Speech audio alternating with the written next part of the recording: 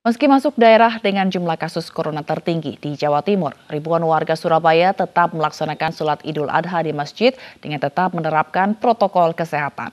Sementara di Aceh, warga melaksanakan sholat id tanpa menggunakan masker dan tidak menjaga jarak.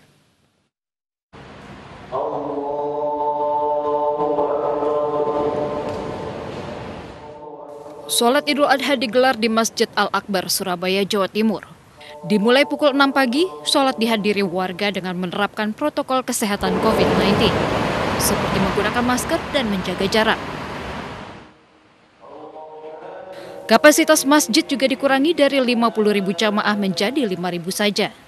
Selain itu, para jamaah juga harus melakukan registrasi diri secara online di website masjid.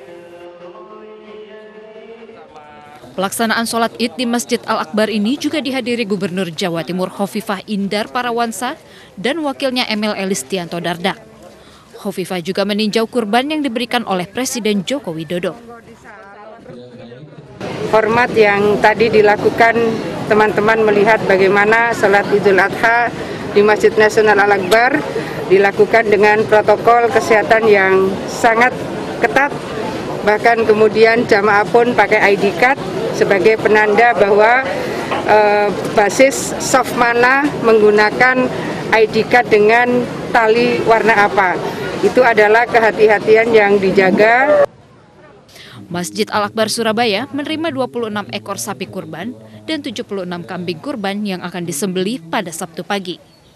Salah satunya sapi yang diberikan Presiden Joko Widodo yang berjenis peranakan ongole dengan bobot 1,4 ton yang dibeli dari Kabupaten Gresik.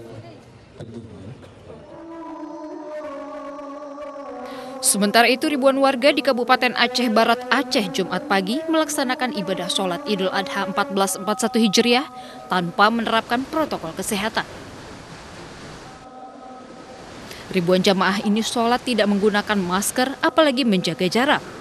Padahal pemerintah Kabupaten Aceh Barat telah mengimbau warganya untuk terus menerapkan protokol kesehatan COVID-19 meski wilayahnya masih masuk zona hijau.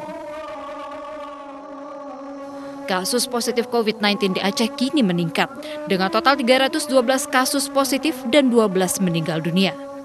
Tim Liputan iNews melaporkan.